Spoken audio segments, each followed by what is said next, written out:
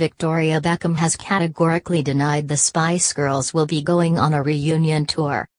Rumors swirled that the 90s girl band were planning a reunion tour after Victoria, Melanie Brown, Emma Bunton and Melanie Chisholm reunited at Geri Horner's house earlier this month, February 18, to explore some incredible new opportunities.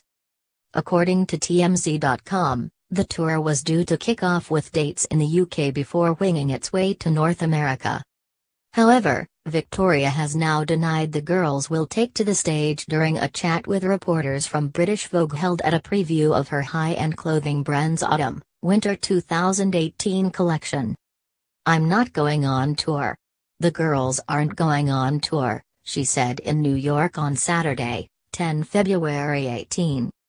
The fashion designer posted several pictures from the reunion at Geri's house on Instagram after their meeting. And she spoke warmly of the gathering with her former bandmates in her latest chat. It was so great to see the girls. We had such a fun lunch. It was really, Really, really lovely.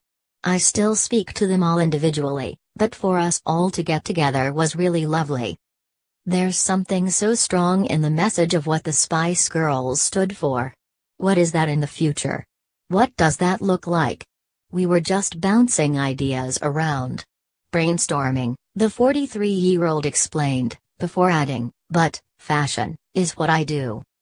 Asked if a reboot of their film Spice World was on the cards instead, Victoria responded with a reference to the group's 1996 song Wannabe, and quipped, Is that what you really, really want?